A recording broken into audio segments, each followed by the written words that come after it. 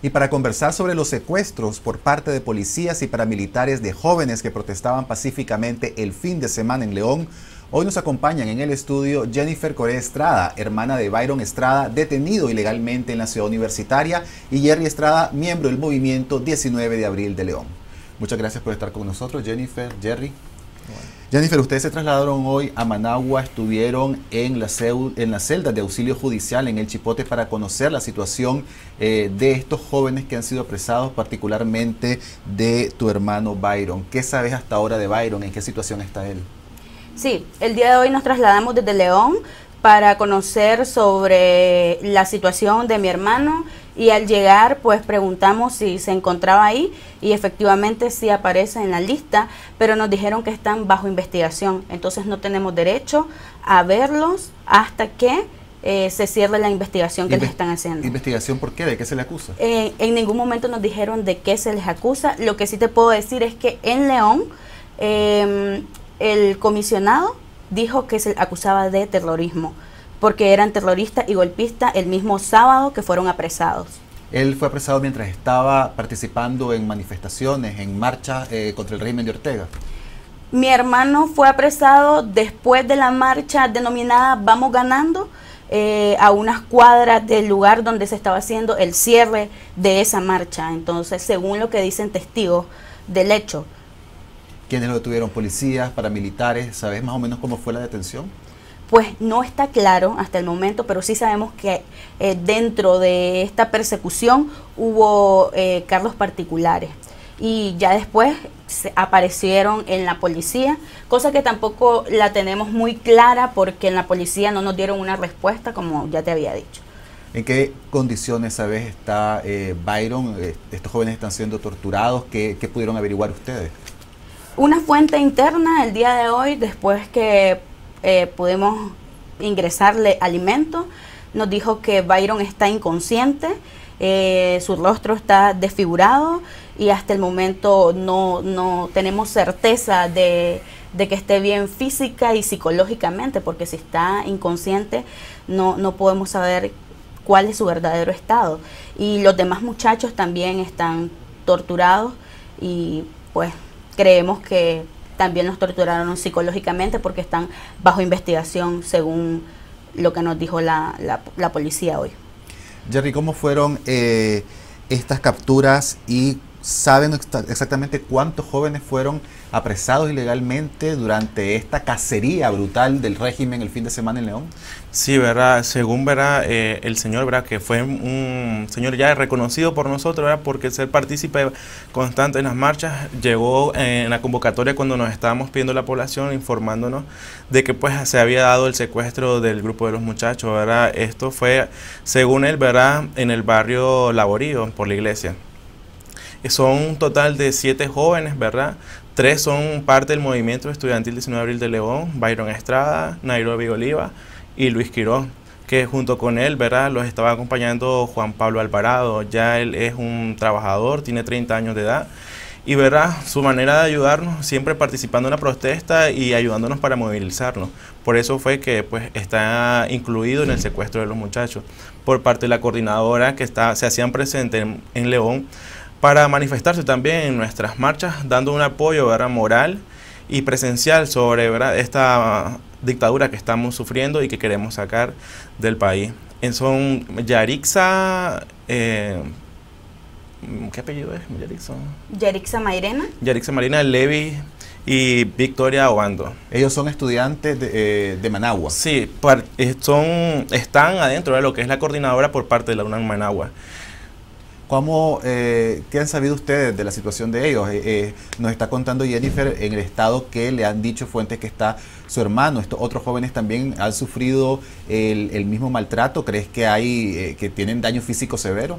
Bueno, ¿verdad? en sí no hemos podido tener un contacto directo, ¿verdad? porque no, no estamos también con los familiares de por parte de ellos. ¿verdad? En el chipote solo te dan información si sos un familiar cercano a ellos. Lamentablemente en ese momento nosotros no estábamos con los familiares de ellos.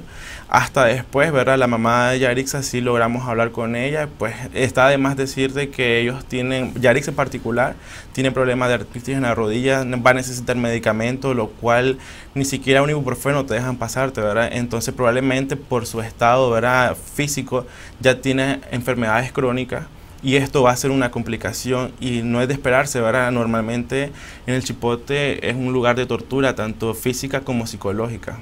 ¿Cómo calificas vos como estudiante y como miembro de esta coalición eh, de movimientos estudiantiles que se ha formado en Nicaragua, este actuar de la policía, esta cacería contra ustedes, jóvenes estudiantes? Sí, bueno, eso era más de esperarse y por supuesto en León. En León con nuestra universidad estamos en desobediencia estudiantil, hace cinco semanas exactamente.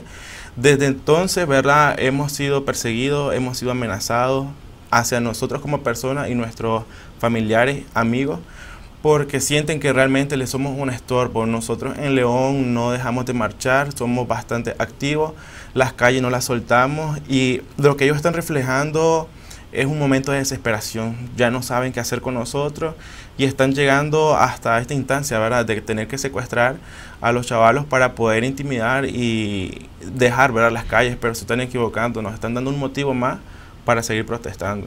Jennifer, ¿ustedes qué gestiones están haciendo de cara a lograr la liberación de tu hermano, bueno, y del resto de jóvenes que están apresados? Hemos visto en las redes sociales que esto ya es una denuncia internacional. José Vivanco, Pablo Abrao, el alto comisionado de las Naciones Unidas para los Derechos Humanos están publicando en Twitter las imágenes de Byron y los otros estudiantes exigiendo su liberación. ¿Ustedes cómo se están moviendo? ¿Qué tipo de gestiones hacen? Eh, el día de hoy eh, terminamos de hacer gestiones meramente legales, eh, nos abocamos con el CENIT y nos están orientando también para, para poder ayudar a, los chavalos de manera, de manera más formal y, legal, en donde se pueda eh, ejercer ¿no? el, el, derecho que tienen para, para ser defendidos. Ahora, ¿cuál fue la situación con la que ustedes se encontraron hoy en el Chipote? Hace una semana eh, gente, simpatizante, huestes del Frente Sandinista se habían tomado esa localidad para evitar que las madres que reclaman la liberación de sus hijos estuvieran ahí. ¿Cuál es la situación? ¿Cuál fue la situación hoy? Sí, hay presencia de personas afines al partido de gobierno, pero eh, hasta el momento pues sí te, intimidan, ¿no? Es, intimidante tener prácticamente al enemigo cuando vos simplemente vas a dejar comida, ¿no? Eh, pero no hubo agresiones el día de hoy. Claro que sí hubo intimidación porque está frente a las personas que agreden a jóvenes eh, inocentes. Eh, Jerry, vos mencionabas la desobediencia estudiantil que ustedes eh, convocaron y mantienen en el caso de la Universidad Nacional Autónoma en León. El presidente Ortega ha dicho que el país está normal y ha exigido a las autoridades de las universidades públicas a que retomen las clases. ¿Qué opinas de esa posición del Ejecutivo que dirige Ortega? Bueno, partiendo de ahora, desde que la universidad es autónoma, está en la obligación de escuchar a todos sus estudiantes. Todos los universitarios tienen una voz que ser escuchada por parte de la rectora, ¿verdad? Hace caso omiso, ¿verdad? Es una cómplice más de este gobierno no va a escuchar a los estudiantes, hemos intentado de una y otra manera. Sin embargo, ¿verdad? Flor de María Valles todavía sigue en pie, ¿verdad? A lo que diga su comandante. Hace caso omiso a todas nuestras peticiones con nuestra desobediencia estudiantil. Te digo que pues llegó el momento de que nosotros no podíamos entrar ni a las propias instalaciones, ¿verdad? De nuestros recintos tuvimos que tomar estrategia, ¿verdad? Por ejemplo, de pasar sin filtrado, ¿verdad? Lo que es tu portón, imagínate cuando pasabas tranquilamente, para poder manifestarnos adentro de nuestro recinto, para que los demás chavalos, los pocos que están llegando realmente, nos pudieran escuchar. Cuando esto lo hicimos, ¿verdad? Fue un gran éxito, vimos que las aulas realmente están vacías, solo están los dirigentes del CUN, que junto ahora con las autoridades de la UNAM León, incluyendo la rectora, están a favor del Frente Sandinista y están en contra del pueblo que quiere alzar su voz. ¿Ustedes mantendrán esta desobediencia estudiantil? Por supuesto que sí, a pesar de que la universidad, que la rectora mantenga que sí hay bastante asistencia por parte de los muchachos, es realmente falso. Te vas a cada uno de los recintos por facultades y vas a ver un ambiente árido realmente. La única carrera que te puedo decir que sí tiene bastante asistencia es medicina. Yo soy un estudiante de esa facultad, de esa carrera y sí, ¿verdad? Pero no, no, no llegamos en sí a hacer un gran porcentaje para decir que la desobediencia estudiantil está fracasando.